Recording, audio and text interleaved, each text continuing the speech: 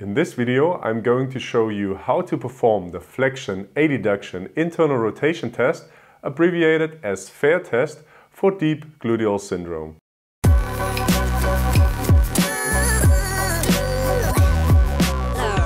Get our very own assessment ebook and mobile app. Links are in the video description. Hi and welcome back to Physiotutors. Deep gluteal syndrome, abbreviated as DGS, is defined as pain in the buttock area caused from a non-discogenic entrapment of the sciatic nerve in the subgluteal space.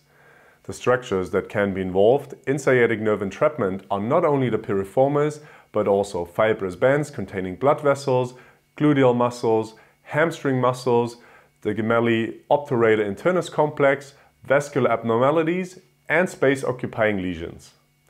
For this reason, the term deep gluteal syndrome instead of piriformis syndrome is now preferred.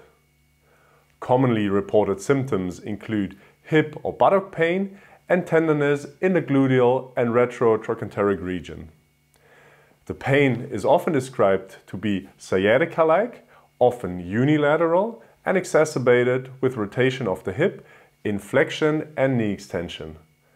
Other symptoms include intolerance of sitting for more than 20 to 30 minutes, limping, disturbed or loss of sensation in the affected extremity, and pain at night getting better during the day.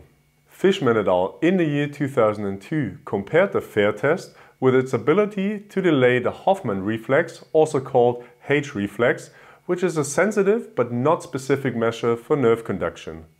They found a sensitivity of 88% and a specificity of 83% for the FAIR test, when using a delay of 3 standard deviations above the normal H reflex. As the H reflex is not an accurate gold standard and no other studies have been conducted on this test yet, we give it a questionable clinical value in practice. Before you conduct the test, make sure you have examined and excluded more prevalent pathologies in the lumbar spine and as SI joint that could explain the patient's symptoms. To perform the test like shown in the study of Fishman, have the patient lie on the unaffected side with his upper hip flexed to 90 degrees, maximal adduction and the upper knee flexed to 90 degrees as well.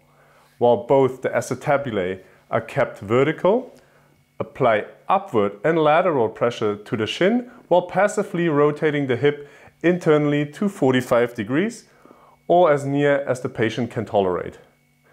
This test is positive if the patient reports pain at the intersection of the sciatic nerve and the piriformis.